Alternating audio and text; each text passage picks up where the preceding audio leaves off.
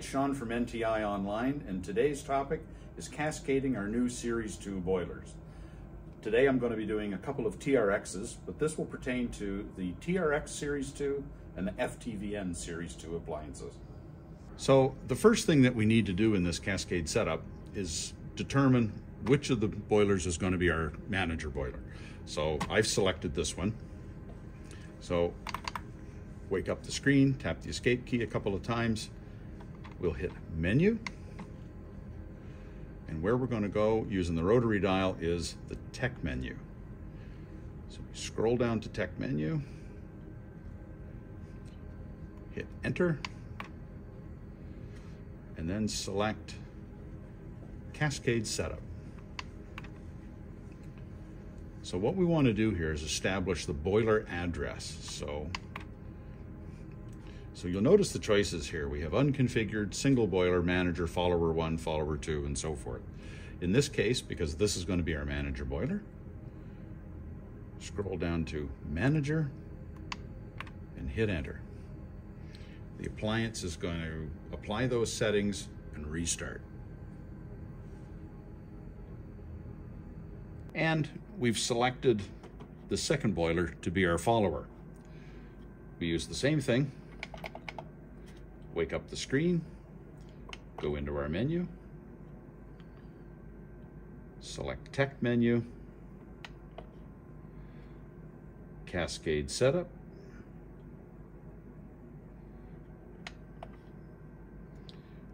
set the boiler address, and in this case, it'll be follower one. The appliance, of course, writes those settings to the control, and then we'll restart.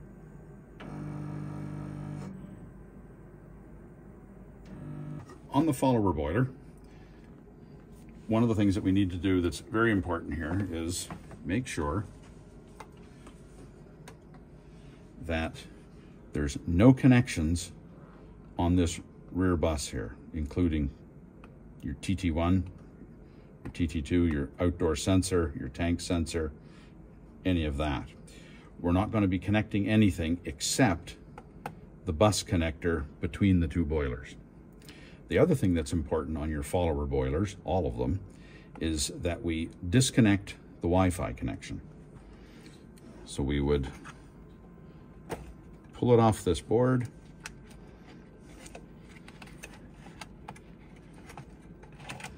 just kind of tuck it out of the way here. Next, we need to address some connections inside here in our junction box. Remove the cover. And you're going to notice some dip switches right here.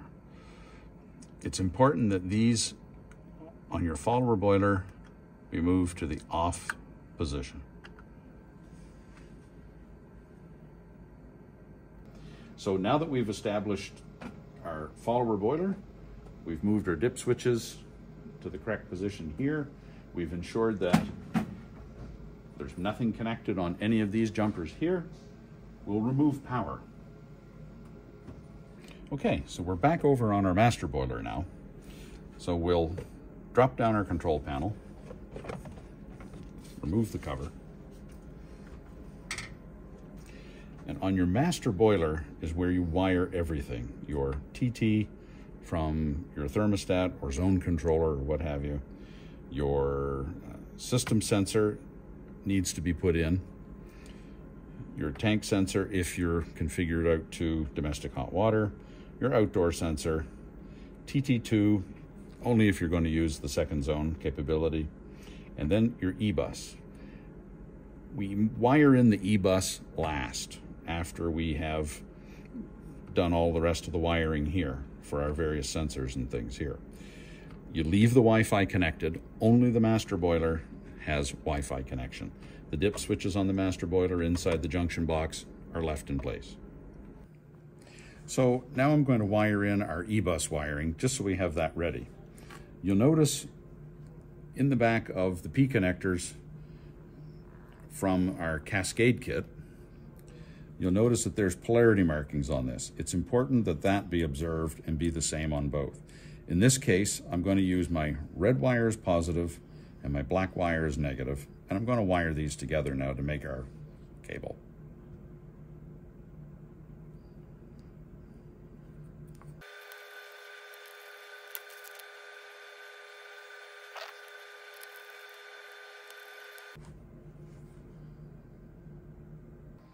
All right, back on the master boiler again.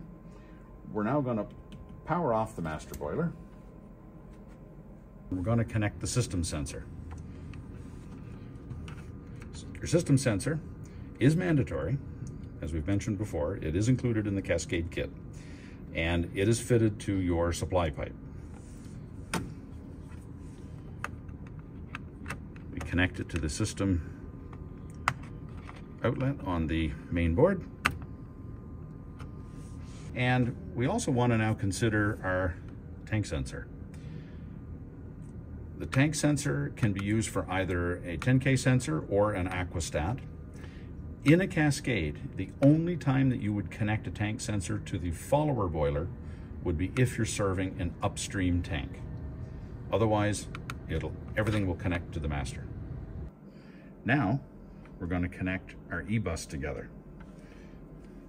It's connected to the bus connection on both appliances.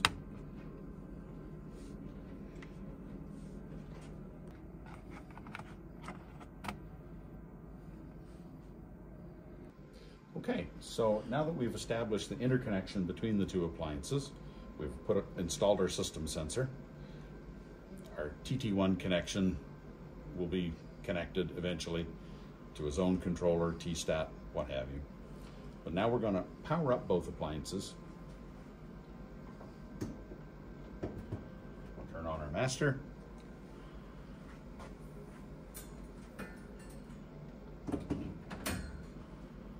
Turn on our follower.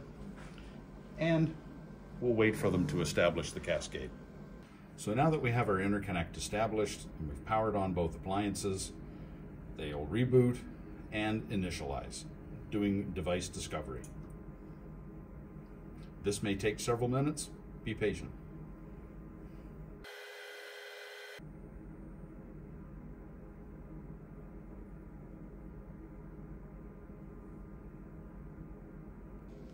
And that's how you cascade our Series 2 appliances.